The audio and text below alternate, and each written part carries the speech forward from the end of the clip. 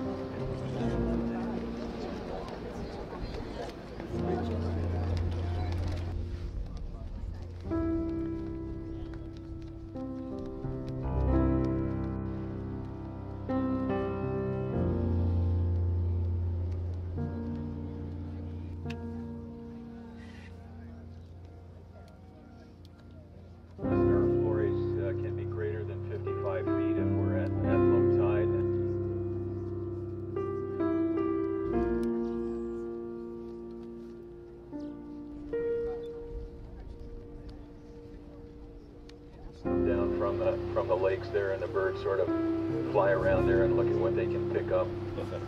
Um, fish get stung going through the locks, but they also get shocked uh, if they're fresh.